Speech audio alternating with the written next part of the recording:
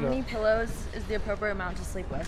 Oh man, I got at least about six pillows on my bed. Two. I like to have one on either side of my neck, and I kind of lay in into it like a mm-hmm. like a valley. Me I don't really lay on the top. I lay in the valley. I think two. I sleep with two pillows. I sleep with one on my head and I cuddle the other one.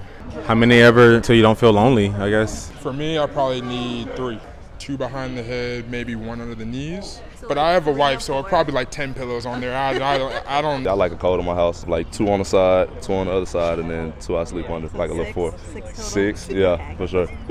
Yeah, you gotta have all the pillows everywhere. Back, shoulder, feet. It's, I can get it. I can go all day on this. That ain't you? enough. What is I got one. appropriate? Go ahead, tell them. You got one? I'm four. Where they at? Head, Uh-huh. left side, right side, leg. What? So when I roll left, I got to cuddle. When I roll right, I got to cuddle. I always, I always take the pillow with me. You know what I'm that's way too No. much work.